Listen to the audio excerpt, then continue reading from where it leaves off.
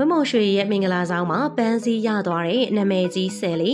မြန်မာပြည်ရဲ့ထိပ်တန်းမင်းသမီးစီးရင်ဝင်တဲ့ဝင်းမုံရွှေရတော့ပရိသတ်အခိုင်မှာရရှိထားတဲ့မင်းသမီးတက်လက်ပဲဖြစ်ပါတယ်။ ဝမုံရွှေကိုဩဂုတ်လ10ရက်နေ့1988ခုနှစ်မှာဦးဝင်းသိန်းနိုင်ဒေါ်မီမီလွင်တို့ကရန်ကုန်မြို့မှာမွေးဖွားခဲ့တာဖြစ်ပါတယ်။ဝမုံရွှေကိုပရိသတ်တွေကတော့ကစ်ကစ်လို့ချစ်စနိုးနဲ့ခေါ်ကြပါတယ်။ဒါအပြင်ကစ်ကရုပ်ရှင်သရုပ်ဆောင်ဖွေးဖွေးနဲ့ညီမဝမ်ခွဲကျော်ဆက်သူတွေဖြစ်ပြီးတော့သူတို့နှစ်ဦးစလုံးကအကယ်ဒမီရရှိထားပြီးသားမင်းသမီးတွေဖြစ်ပါတယ်။2009ခုနှစ်မှာဝမုံရွှေရကြော်ညာရီနဲ့အတူအမှုပညာလောကကိုစတင်ဝင်ရောက်ခဲ့တာဖြစ်ပြီးတော့သူမရဲ့ပထမဆုံးအဓိကခေါင်းဆောင်မင်းသမီးဖြစ်ရိုက်ကူးတဲ့ဇာတ်က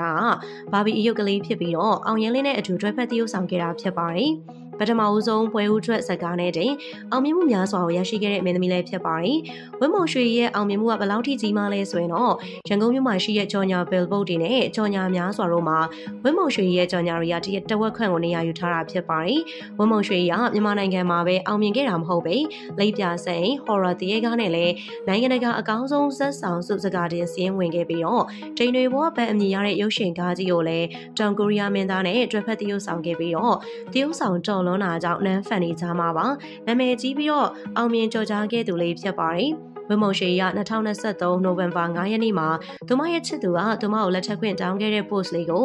I said yes ဆိုတဲ့ caption နဲ့သူမရဲ့ official Instagram account မှာတင်ခဲ့တာဖြစ်ပါတယ်။ပရိသတ်တွေတော်တော်များကတော့ surprise ဖြစ်သွားခဲ့ပြီးဝမ်းနဲ့နှမျောတတဖြစ်နေကြပါတယ်။အားလုံးသိချင်နေကြတဲ့ဝင်းမုံရွှေရဲ့ချစ်သူကတော့အလှမယ်မိုးစဝိုင်ရဲ့အကိုဖြစ်သူနိုင်ဖြိုးကျော်ပဲဖြစ်ပါတယ်။နိုင်ဖြိုးကျော်ကတော့ VV အချိုရည်ကုမ္ပဏီပိုင်ရှင်လေးဖြစ်ပြီးတော့မြန်မာနိုင်ငံမှာရှိတဲ့လုပ်ငန်းတော်တော်များများကိုပိုင်ဆိုင်ထားတဲ့လုပ်ငန်းရှင်ပဲဖြစ်ပါတယ်။ပရိသတ်တွေကတော့အားကြနေကြပြီးဝင်းမုံရွှေရဲ့ရောင်းမဖြစ်လာမဲ့အလှမယ်မိုးဆက်ဝိုင်ရလည်းဂုဏ်ပြုပေးထားပါတယ်။ဝင်းမုံရွှေရ pre wedding တက်ပုံတွေကိုရေခဲထောင်ပေါ်မှာလည်းတွားရောက်ရိုက်ကူးခဲ့ပြီးတော့အချင်းမျိုးတော်လို့ခေါ်ဝေါ်ကြတဲ့ Paris မြို့မှာလှပစွာနဲ့ pre wedding တက်ပုံတွေရိုက်ကူးခဲ့တာဖြစ်ပြီးသူမဝစ်ဆင်ခဲ့တဲ့ခေါင်းဝင်တစုံရဲ့တန်ဖိုးကသိန်းပေါင်း2000ကျော်တန်ဖိုးရှိပါတယ်။မြန်မာနိုင်ငံမှာမဟုတ်ရင်ထိုင်းနိုင်ငံလိုအိန္ဒိယနိုင်ငံမှာပဲမင်္ဂလာပွဲပြုလုပ်မယ်လို့ထင်ခဲ့ကြပေမဲ့အများနဲ့မတူတမှုထူးခြားစွာဝတ်မုံရွှေရတော့တရုတ်နိုင်ငံလီကျန်းမြို့လေးပေါ်ကနာမည်ကျော် Jade Dragon Snow Mountain ရေခဲတောင်ပေါ်မှာတငယ်ချင်းတွေနဲ့ဖမ်းမိပါတွေနဲ့မင်္ဂလာပွဲကိုခမ်းနားစွာကျင်းပခဲ့တာဖြစ်ပါတယ်။သူမကမင်္ဂလာပွဲကိုငါးပွဲကျင်းပခဲ့ပြီးတော့